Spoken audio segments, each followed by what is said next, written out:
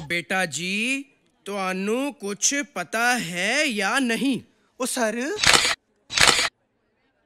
ਕੱਲ ਰਾਤ ਹੀ ਪੜਿਆ ਸੀ। ਕੁਝ ਯਾਦ ਹੀ ਨਹੀਂ ਆ ਰਿਹਾ। ਕੋਈ ਗੱਲ ਨਹੀਂ ਇੱਥੇ ਕਿਹੜੀ ਜਲਦੀ ਹੈ? ਤੁਸੀਂ ਆਰਾਮ ਨਾਲ ਅਗਲੇ ਸਾਲ ਤਿਆਰੀ ਕਰਕੇ ਆਇਓ ਫਿਰ ਦੇਖ ਲਵਾਂਗੇ। ਮੈਂ ਕੋਸ਼ਿਸ਼ ਕਰਤਾ ਰਿਹਾ ਸਰ। ਕੋਸ਼ਿਸ਼? ਉਹ ਇਹ ਕਿਹੜੀ ਕੋਸ਼ਿਸ਼ ਹੈ? ਉਹ ਕਾਕਾ ਤੈਨੂੰ ਮੈਂ ਪੰਜ ਸਵਾਲ ਪੁੱਛੇ ਨੇ। ਤੂੰ ਸਾਰਿਆਂ ਦਾ ਘੁਮਾ ਫਿਰਾ ਕੇ ਇੱਕੋ ਹੀ ਜਵਾਬ ਦਿੱਤਾ। ਜੀ ਮੈਂ ਰਾਤੀ ਪੜਿਆ ਸੀ।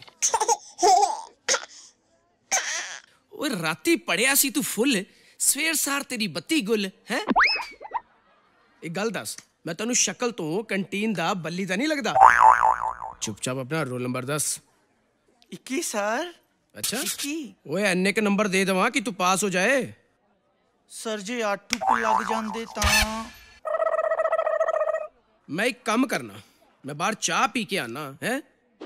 ਉਨੀ ਦੇਰ ਚ ਜਿੰਨੇ ਕਿ ਤੇਰੇ ਮਨ ਚ ਨੰਬਰ ਆਣ ਤੂੰ ਆਪੇ ਹੀ ਛਾਪ ਲੈ ਕਾਕਾ। ਨਹੀਂ ਨਹੀਂ ਸਰ ਤੁਸੀਂ ਤਾਂ ਗੁੱਸਾ ਹੀ ਕਰ ਗਏ। ਨਾ ਤੂੰ ਗੱਲ ਹੀ ਬੜੀ ਚੰਗੀ ਕੀਤੀ ਤੁਸੀਂ ਹੈ। 8 ਕੁ ਲਾ ਦਿਓ ਸਰ। ਤੂੰ ਬਾਹਰ ਨਿਕਲ। ਕੋਈ ਨਹੀਂ ਸਰ। ਬਾਹਰ ਨਿਕਲ ਤੇ ਅਗਲਾ ਮੁੰਡਾ ਭੇਜ। ਵੇਟ ਗੱਲ ਸੁਣੋ ਮੇਰੀ। ਬਾਹਰ ਜਾ ਕੇ ਸਾਰੇ ਸਟੂਡੈਂਟ ਨੂੰ ਦੱਸੋ ਕਿ ਅੰਦਰ ਜੋ ਪ੍ਰੋਫੈਸਰ ਵਾਈਵਾ ਲੈ ਰਹੇ ਨੇ ਉਹ ਫਾਰਮੈਲਿਟੀ ਕਰ ਰਹੇ ਨੇ ਠੀਕ ਹੈ?